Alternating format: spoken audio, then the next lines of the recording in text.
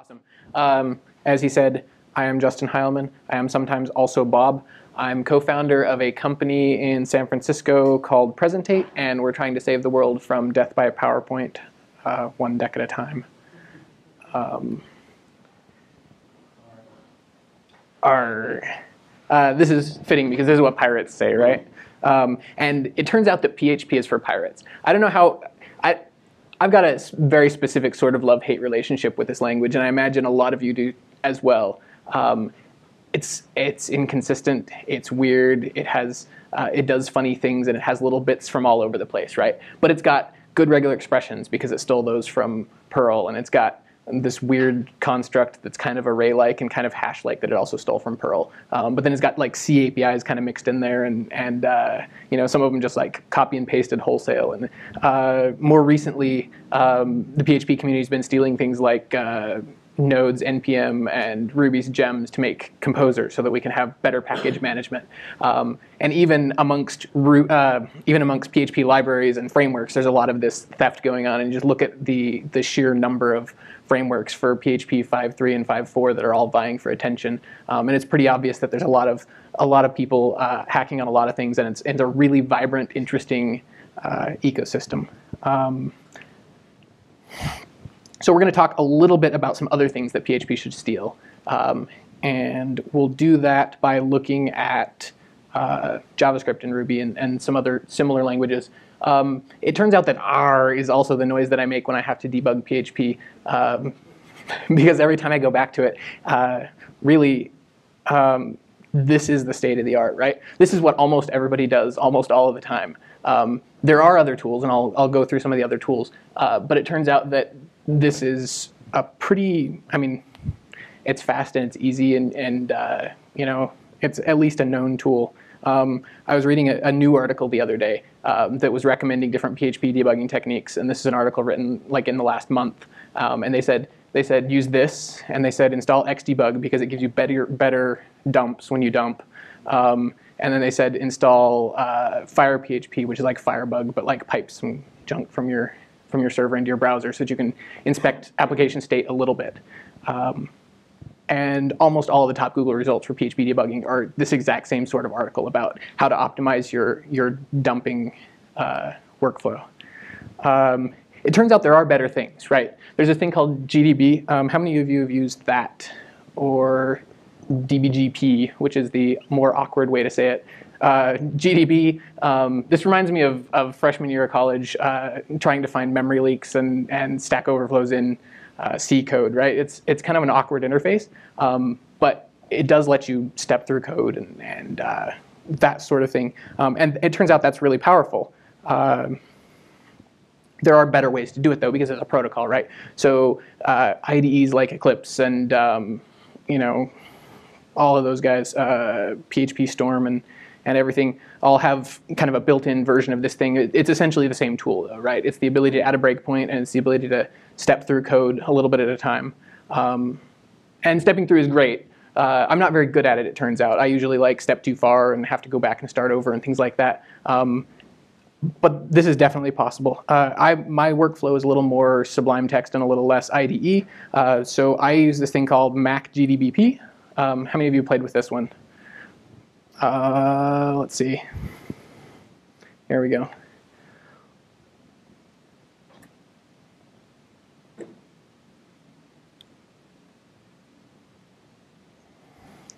Let's look at a really quick, nope.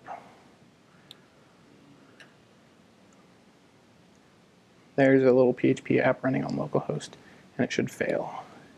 Yes, there we go, it fails, because it's supposed to because then we can actually look at it with GDBP.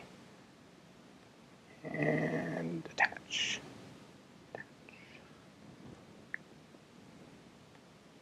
There we go. Thank you, Mac.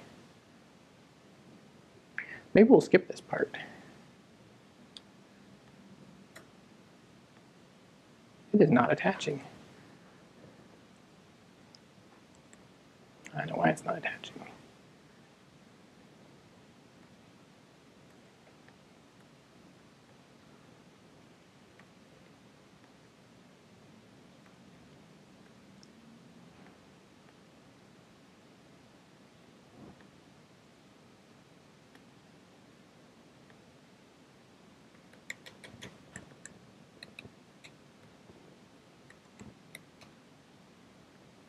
try that again.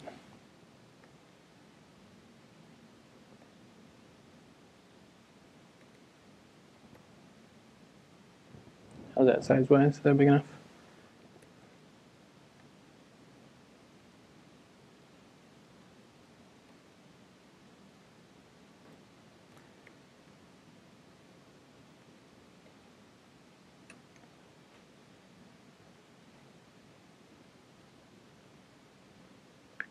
And now everything is all out of order and confusing.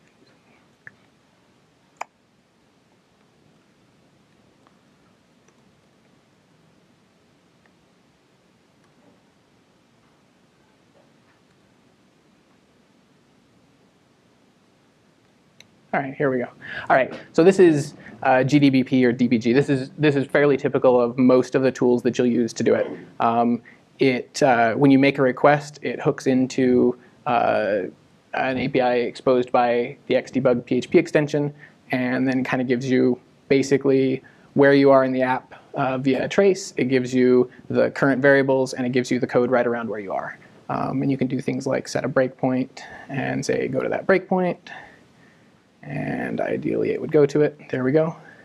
Um, and remember there was an error, so let's figure out what our error is by stepping into this and looking, and it turns out that data is uninitialized because I left data uninitialized. So we'll just add that, right?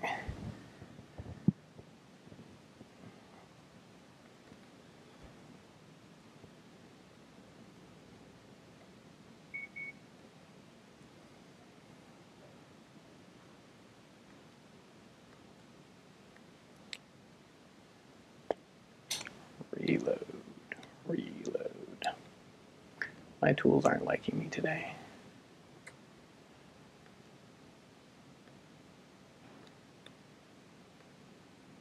There we go, okay. So now we can step into this and it should have actually worked, but let's actually eval it to make sure. Wait, no. Nope, don't care about the cookie.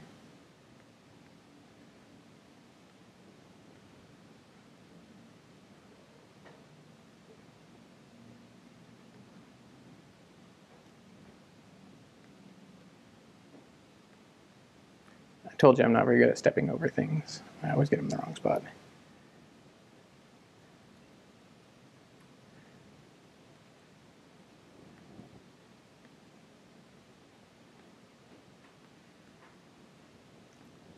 No, we're not going to have a GDB demo today because it doesn't like me. All right, so that's the that's the basic uh, workflow is, is step into things, look at things, maybe eval something to, to check out current state, um, but get frustrated and give up and go back to var dump and die, um, which is where I typically go. Um, so, so why do people do this? Why do, with tools that should be able to give us a better picture of what's going on, why do we go back to uh, printing application state and refreshing?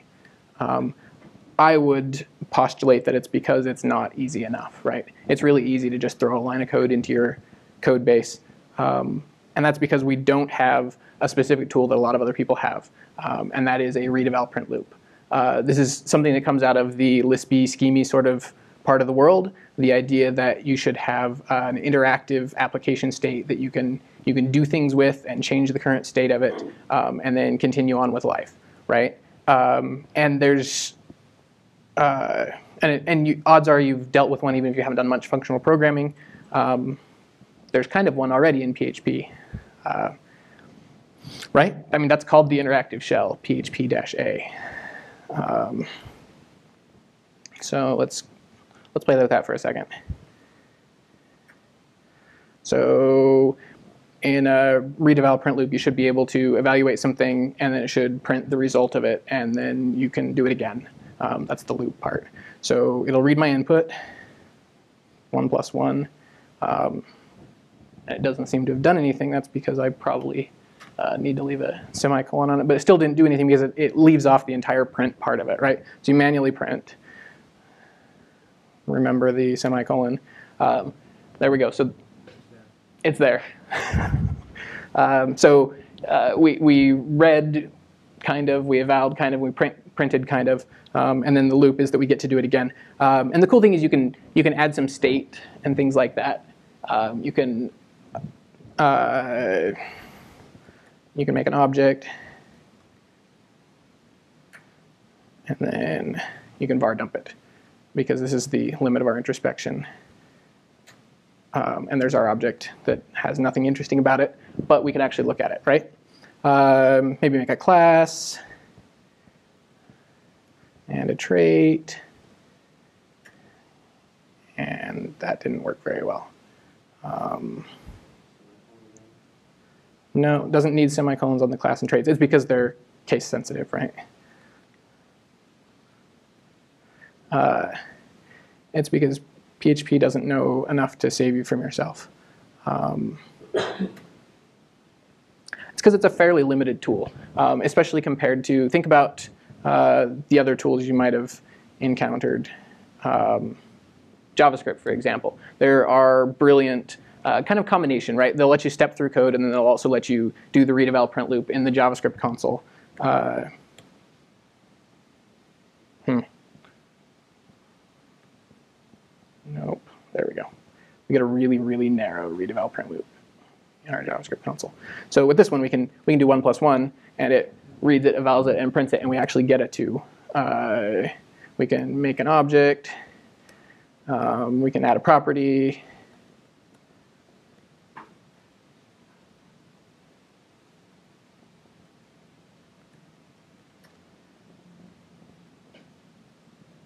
And type correctly.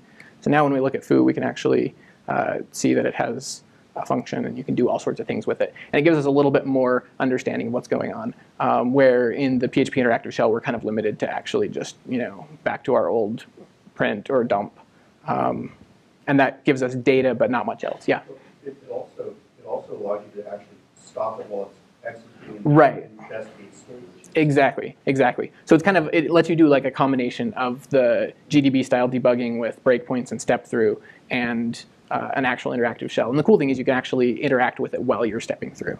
Um, so JavaScript's got this great, right? And, and even Internet Explorer has a great version of this. Um, so Internet Explorer is ahead of PHP in that regard, uh, which is kind of sad. Um, Python has Python. Uh, one of the cool things about Python is if you go to the command line and you type Python, you get an interactive shell and you can start typing Python code. Uh, if you try that with PHP, it just kind of sits there and stares at you blankly um, because it's expecting you to manually enter an entire file and hit command or control D when you're done to execute it.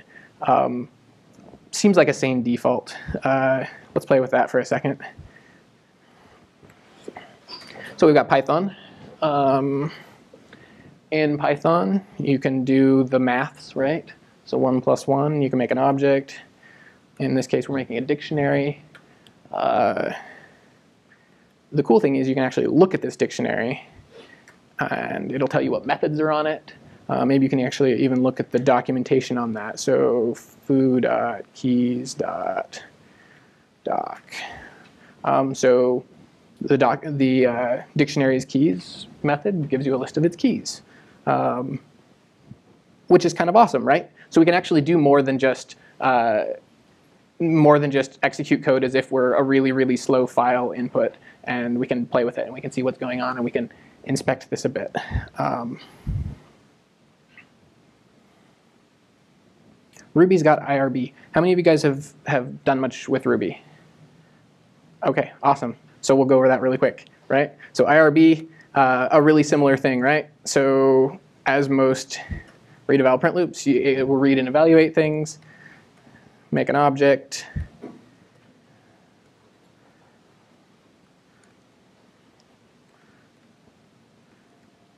and we can use some introspection and do really similar things to the to the Python as well. Um, and that's cool. Uh, but then it gets even cooler when you realize that you can use metaprogramming and, and uh, all the tools that Ruby gives you to make something even better, um, which lets you do things like this. This is pry if you haven't seen it before. So again, we're back to our object. This time it's an object with syntax highlighting in pretty colors because it knows what parts of the object are what. Um, we can actually look at the object and see what methods it has. We can uh, We can view documentation for puts, for example. Um, and then I'll actually read the documentation and kind of tell you, you know, what it's expecting argument-wise and, and whatever is provided. You can show the source of it. Uh, nope. Show source puts. There we go.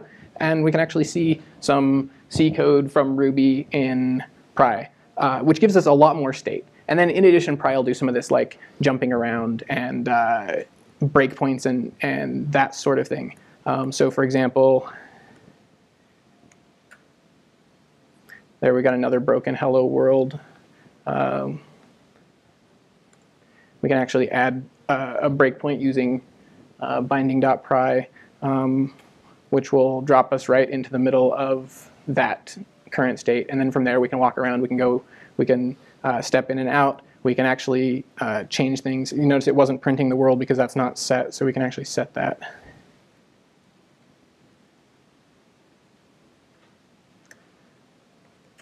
And that time it worked because we actually changed the application state and made it uh, have a planet. Um, and I found that as I code more and more, especially like CSS and JavaScript, right? I spend my time in the inspector and in the console uh, figuring out what I'm going to do, interactively uh, writing code and uh, messing with data and manipulating things and, and sorting all of that stuff out. And then when I've got it to a state where it makes sense in my head, uh, I'll copy it and paste it into a file, and, and that becomes part of my code. Um, unfortunately, you can't really do that in PHP uh, due to the limitations of the tools. Um, so there are some better options than PHP-A. This one is written by Facebook. It's called PHPSH, I guess. I don't know how you pronounce it. Um, it solves a lot of the problems that uh, PHP-A has. It doesn't crash and, and dump you back to the command line nearly as often. Um, it actually uh, prints the result after you do something. Um, it is written in Python, which is a little bit weird, um, and it's hard to install, especially if you don't have Python set up on your system. Um, but that's how they get around the, the fact that PHP is crashy and, and dumps you back on the command line is by wrapping it all in a Python loop. um, so that's one way to do it. Uh, but you want a, a, a PHP read eval print loop written in PHP, right? Like something that's actually native PHP. Um, it turns out you're in luck. Uh, as of the last like couple of months, um, there's a really interesting tool that came out called Boris. Uh, I don't know if you've played with that yet. Um, Boris tries to bring some of the uh, tools that other people have into uh, PHP and also tries to make things that are a lot more stable. And so what it does is it has a forking loop. Basically, uh, it uses um, processes, it, it, it, forks every time it executes a command, um, and then uh, it can back up if it has problems and, and keeps you from dumping out onto the command line nearly as often. Uh, but today we're going to talk about another one called PsySH. Uh, because I know a little bit more about this one. Um, so compared to the Python install, it's, it's pretty easy because um, it turns out if you have a system running PHP, you can run PHP. Um, and let's play with it a little bit.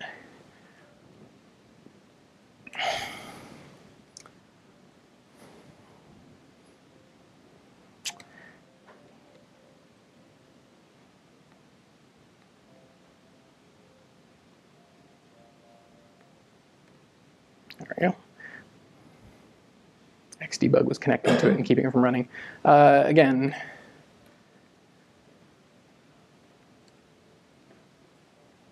if I can get my languages straight.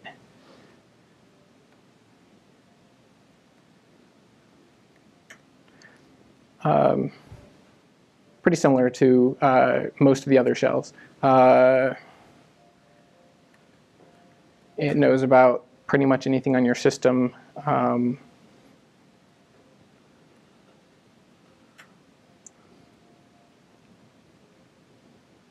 uh, it has mutable state.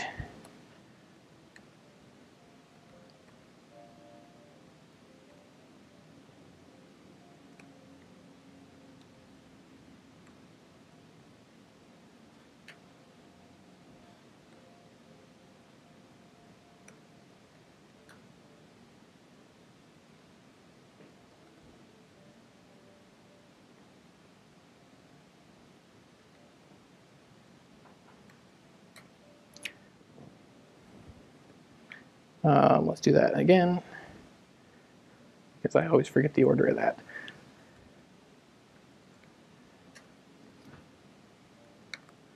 Um, so it managed to not lose things when we did that, but uh, since I always forget the order, we kept a copy of it handy here so we can actually see uh, at any time, you know, if we want to look up the documentation for something or uh,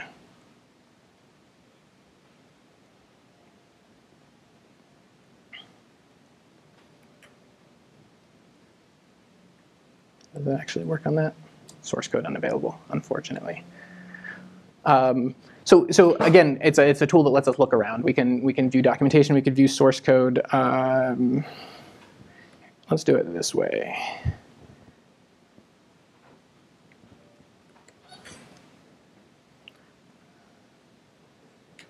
And like the pry tool, we can actually uh, jump from the middle of a running application into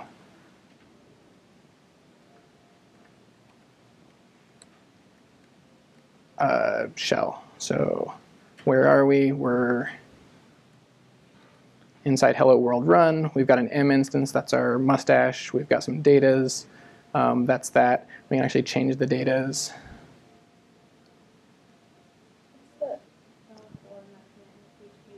Uh, it was typo. Yeah, it ignored it. um,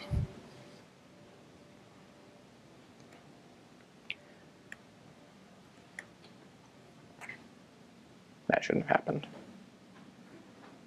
All right, so um, a, a, similar sort of thing, right? It's a it's a tool that lets us uh, interact with and view and uh, show documentation of and change application state while we're running. Um, but why is this cool? Um, why does that matter? Um, like I said, because of exploratory programming. Because um, Bret, I forget his name. How many of you saw the the uh, video, the presentation a while back about JavaScript editors that let you actually visualize output and see things in their state, right? This was, you should check this out. It's, I don't remember his name. His name is Bret something.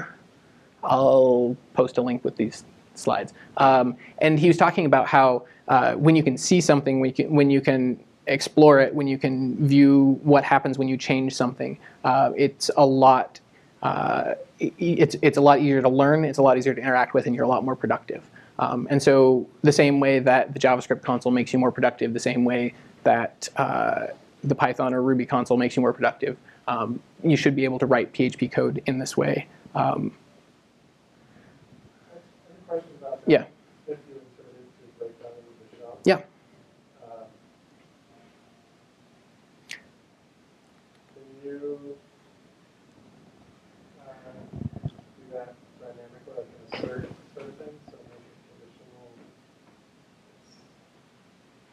Assert we want to drop into the shell only it's Right, right.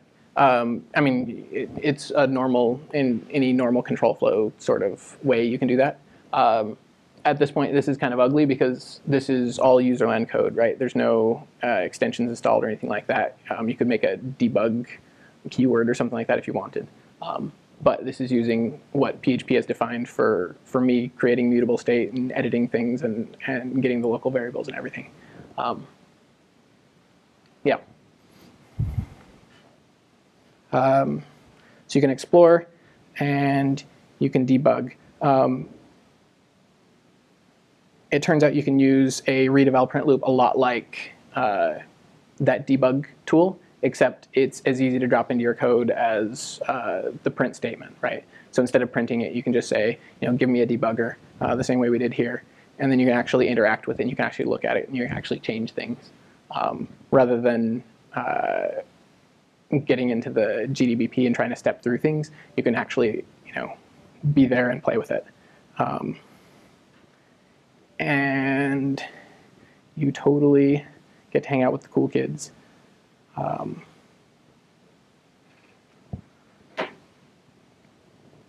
promise.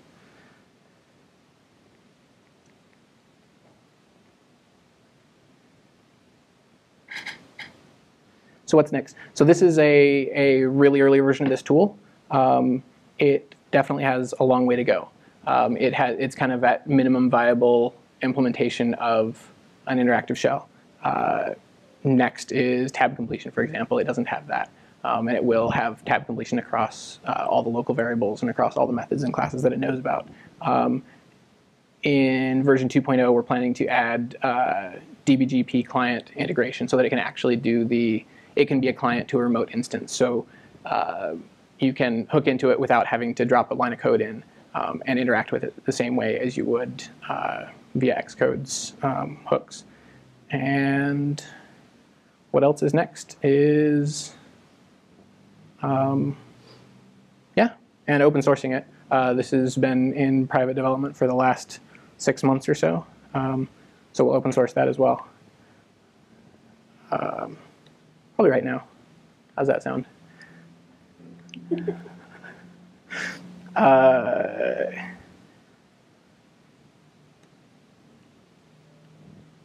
questions, comments, thoughts while I'm pulling this up? Yes. Uh, so it's the Boris one here?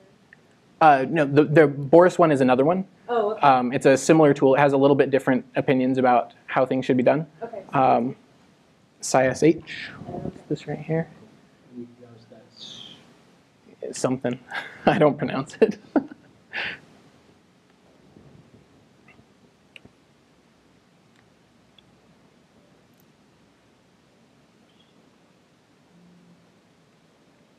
Don't look. All right. So now it's open source, and so it can work for OS Bridge, right? Other thoughts? What what do you guys do that I didn't talk about? What's your what's your favorite technique? Or uh, how many people use print statements and, and dies and things like that on a regular basis? How many people use interactive debugging of any sort? How many people don't do anything? Yeah. which becomes, it's not interactive in the sense that you have to, but, uh, I'm not, I I may be, uh, dipping my page hand a little bit, because like, I'm still stoked that I can change a lot of code to control R to see what it did. Instead of. Instead of compiling. Making a sandwich, coming back, running the program to find it, there's still a bug. Yeah. So in a lot of ways, I feel like it's always interactive development when you're browser-based. But yeah, I, I, um, it's still a mistake as far as open print R. I just don't die as frequently as I used to because I like, pile up lots of things. Uh, one of the other things we do is, uh, um, register an error. Okay.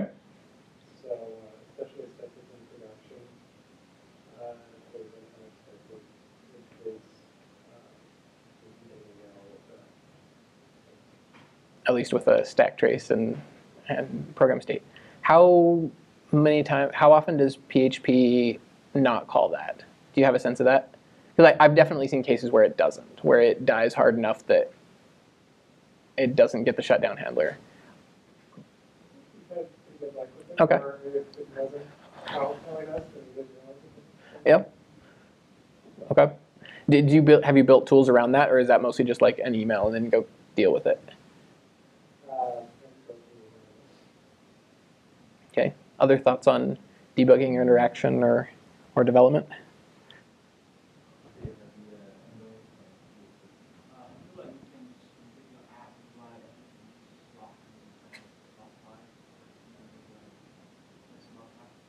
Yeah.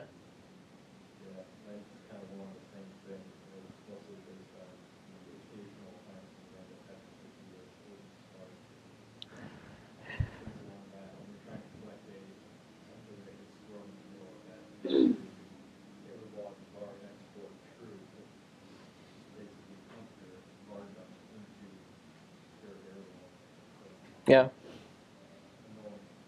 So how do we collectively move the state of PHP development forward? I don't know into this century. We got lazy at it finding not that long ago. We did. that, that's a start. treaty of Washington? Well, How, how is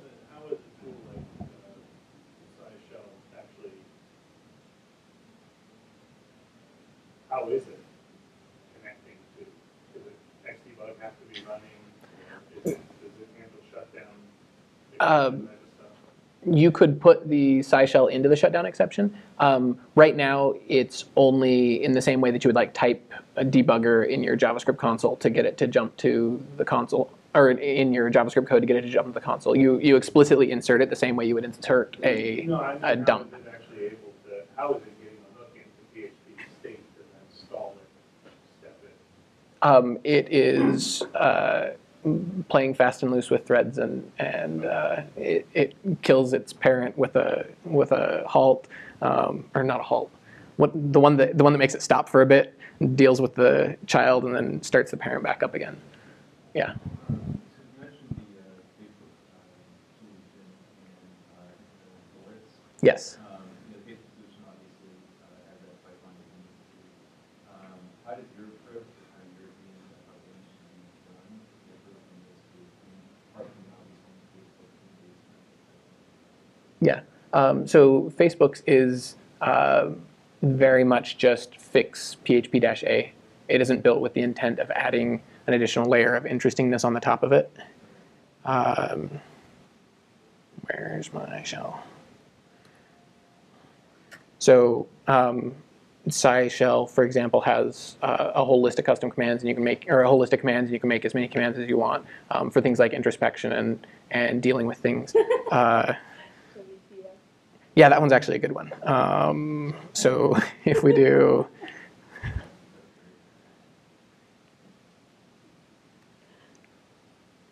is that? mm, Oh no more street.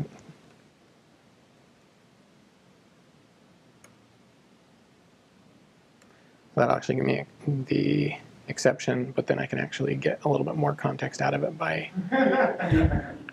asking for it. Um, so the idea is that this is this is a way to to layer a bunch of interesting ways to introspect code and introspect uh, documentation, or to to look up documentation and to show you you know what's going on. Um, and the the PHP shell, uh, Facebook's doesn't have any of that. Um, Boris tends to be uh, it does a lot of the things like uh, the code cleaning that that PsySH does, where it, it actually tries to keep you from uh, referencing variables that don't exist and things like that. Um, it'll it'll keep you from actually like throwing real exceptions. It'll uh, read your code and, and decide if you're doing something dumb and, and not actually execute it. Um, Boris does similar things uh, to that, but it doesn't do, for example. Um, that, that's a nice feature for me um, because I typo things all the time. And, and uh, um, one thing, for example, that PsySH does is automatic semicolon insertion. So if you if you are familiar with JavaScript, um, basically if it's if it could conceivably be a valid uh, statement and you hit enter at the end, it doesn't make you add a semicolon. Um, where with Boris or PHP shell, either one of those would force you to do that. Uh, How does, how does it accomplish the type of Boris? Boris is very similar method, but that's Yeah, they're they're fairly similar. Yeah.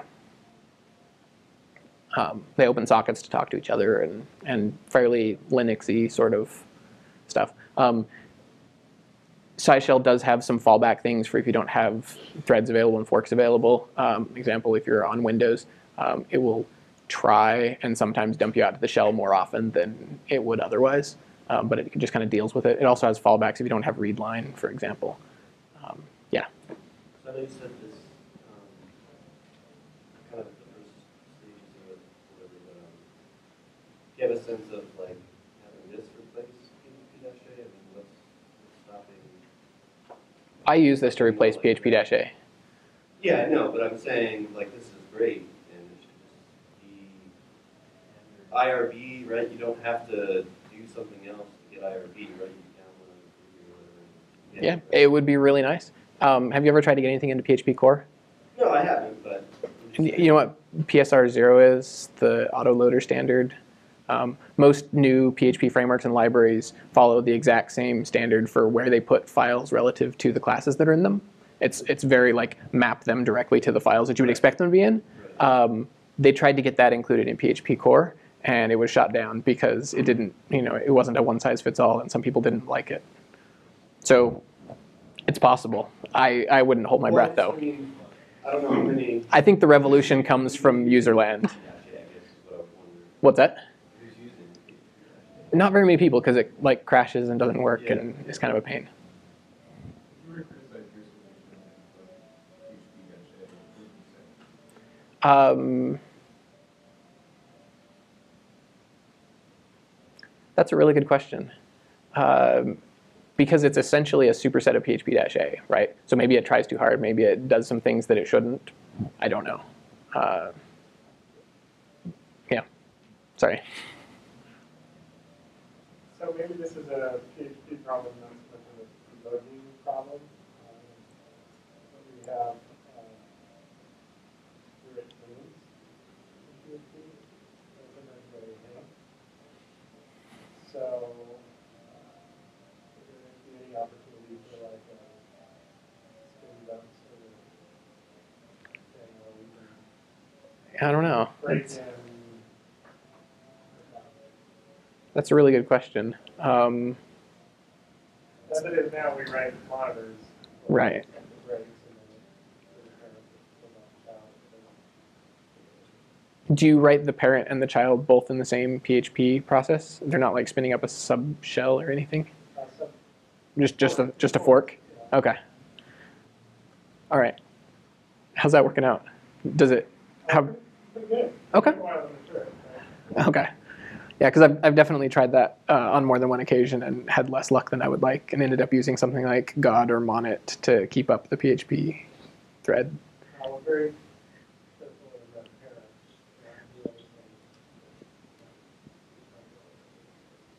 Yeah. Cool. Anything else? Awesome. Thank you. Go download. Go download PsySH and help make it awesomer. Oh, that's the company I work for. We- we-. Oh, awesome. you should do that. Uh, it's in pretty early alpha right now. Um, we have been working on it full time about six months. It went into alpha a couple of weeks ago. Um, but thanks for signing up to the beta. We'll let you in. That's this. This is my presentation software that I'm using. So, awesome. Thank you.